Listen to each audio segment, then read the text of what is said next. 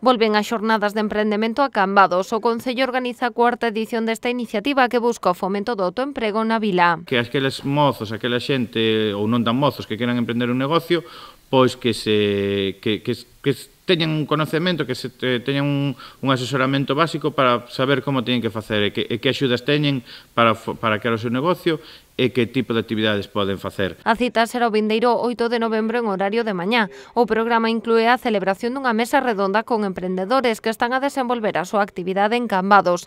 Todos son menores de 30 anos e poderán compartir a súa experiencia. Vamos nos concentrar cinco emprendedores que levamos a cabo a nosa labor aquí en Cambados.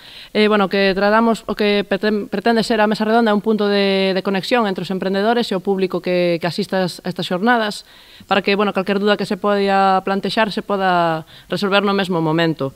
E o que, bueno, imos falar entre todos será un pouco os motivos que nos levaron a emprender, a axuda que, que recibimos, os pasos que seguimos para, para levar a cabo a nosa actividade, e por outra parte a realidade que ten eh, a realidade de ser autónomo en sí. Non? Nesta edición a xornada muda Expo Salnés polo Auditorio da Xuventude, xa que agardan que a afluenza de público sexa maior. Van participar un total de 41, 41 alumnos do, do Instituto de Educación Secundaria Francisca Sorei de Cambados, dos distintos módulos de formación profesional, Eh, tamén van participar os 16 alumnos do Obradoiro de Emprego, van participar os 25 alumnos do, do curso Emprendemar, que vai, se vai celebrar esa semana. A xornada desenvolverase dendas de da mañá ata 1 do mediodía. A entrada será libre e non precisa de preinscripción.